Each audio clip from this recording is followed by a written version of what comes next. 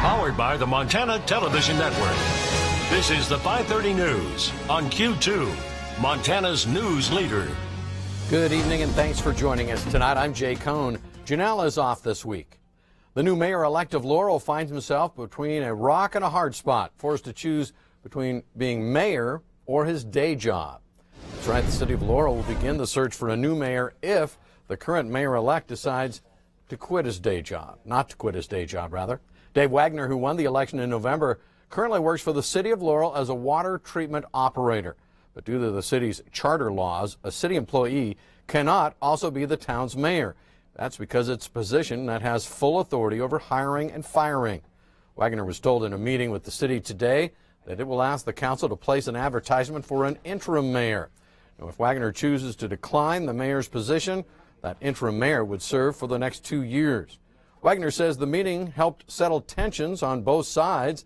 Now he says he is leaning toward declining the position he was elected to just last month. I don't want to cause problems for the city. You know, any legal thing, any money like that, I want it to run smoothly. So if they need a mayor on January 2nd, they will have one. I just wish that this could have been ironed out before four months afterwards and I'm elected and I can't get a straight answer. And now they finally sat down. We're really decent. I appreciated it. I, I just thought it was really a nice discussion that we had. It was, you know, it was very good and they understood me and I understood what they're saying. Wagner says he'll likely uh, give his uh, give his decision to the city by next week and says he does appreciate all the support he's got from the community. By the way, the salary for the position of Laurel Mayor is $10,000 a year. Well, tomorrow voters will decide the fate of Elder Grove School, the school asking voters for a nearly $15 million bond to expand. Five years ago, when an initial smaller bond was passed for the school, the district had hoped the school could accommodate about 470 students in both elementary and the middle school. This year, enrollment at Elder Grove is well over 600, and there simply isn't more room to grow in the current space. The bond will allow the school to convert the current middle school into additional elementary space, and they would then build a new middle school on a different piece of land nearby. The cost to the owner of a $1,000 home with the bond would be $194 a year. So far, we're told about 55% of the ballots have been returned. County Elections Administrator Brett Rutherford says that's a good turnout, especially for a school election. Voters have until 8 p.m. tomorrow to return their ballots to the Yellowstone County Courthouse for them to be counted. Turning our attention now to the weather scene, it might be December, but that doesn't diminish the fire danger of all things. Chief Forecaster Bob McGuire here with more on that for us, Bob. Well, we saw all that happening in California. Absolutely. Now it might be our turn. Here, let me show you what's happening. We have, starting tomorrow at noon and going into Tuesday evening, an elevated fire weather risk for basically grass areas. Uh, what's happening is the rapid fire could spread in the grasses tomorrow because we have had such dry conditions since December 2nd and 3rd. We had um, had no precipitation. Then it's been very windy. Tomorrow, we're expecting near record high temperatures in the buildings. The record's 57. We're going to 55 and winds are going to be gusting 50, maybe up to 60 miles per hour. Should a fire get going, it'll cause all sorts of problems. And not only here, but also across across the Hi-Line. We're looking at high wind watches there for winds gusting to 80 miles per hour. We'll have more on your forecast, though. It looks like it's going to be warm for about another day, and then we start to cool down. We'll talk about that in a few more minutes. Jay? All right. Thank you, Bob. Well, the state's campaign, top campaign law enforcer ruled that the Montana Democratic Party violated some of the key reporting requirements in last year's election. Commissioner of Political Practices Jeff Mangan said the party's report did not identify the candidates it supported with some $300,000 of independent expenditures. And Mangan says that is a violation of state law. He also said the party failed to disclose that it would be spending money to support Supreme Court candidate Dirk Sandefur. In 2016, the party's independent expenditures supported both Governor Steve Bullock as well as Sandefur as, and also some Democratic legislative candidates. Now, the political consultant who filed the complaint that led to the ruling says it's ironic that a party often that touts openness in campaigns doesn't follow the rules. The rules are very clear, and they say in black and white, you know, when you're going to make independent expenditures to support or oppose the candidate, these are the reporting requirements that are involved, and these are the things you have to report so that the people of Montana know who you're supporting and where their support's coming from and all those things. And they did not do that. Jake Eaton often consults for Republican candidates. Montana Democratic Party officials say the commissioner's electronic reporting system did not accept some of their filings or who the party supported, and that they have now updated that information. Mangan, for his part, says he'll likely negotiate a fine with the party, which said it will work with the commissioner to resolve the issue. Mangan dismissed part of Eaton's complaint, by the way, that had alleged illegal coordination between the Democratic Party and Supreme, uh, Supreme Court candidate Dirk Sandefur. If you're planning on purchasing an FWP special hunt license, you're too late. Those licenses sold out this morning in just a matter of hours. FWP's Bob Gibson says the 1,200 licenses that went on sale at 5 this morning were all gone by 8. The special hunt begins Friday, December 15th. The hunt begins, uh, hunters that are involved are, will be required to bring their deer to FWP for sampling.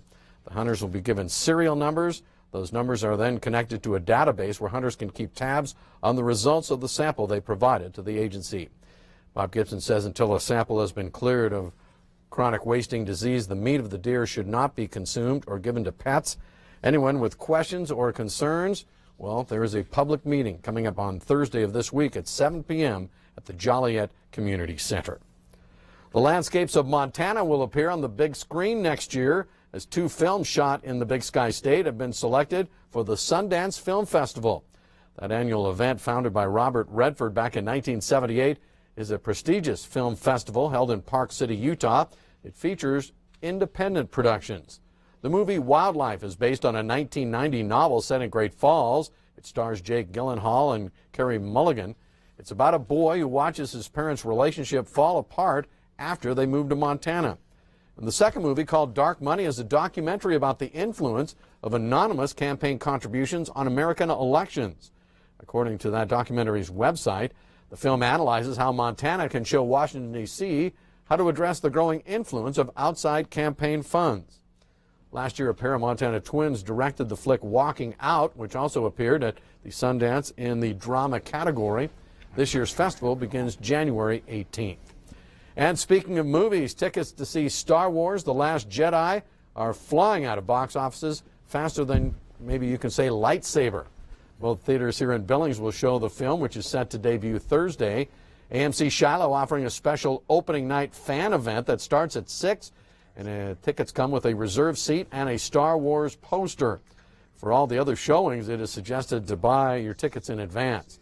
This is the last Star Wars installment to feature the late Carrie Fisher, who passed away last December. Good news for a disabled Missoula veteran who had $30,000 worth of customized equipment stolen from him. But after the theft garnered statewide attention, it now appears the thieves had a change of heart.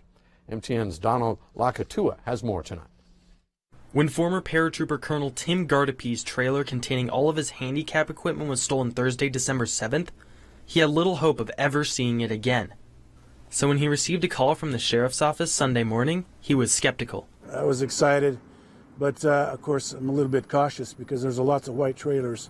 But uh, when he opened it up, and uh, on the phone, the deputies opened up the uh, contents of the trailer and revealed everything was okay, and everything was still there and locked down, and there was no damage. Uh, mostly, uh, most of the items that were critical to me are still there and uh, still in good condition, so I was quite happy with that. Sheriff deputies found the trailer abandoned in the Evaro Hill area and returned it to Colonel Gardapi as quickly as they could.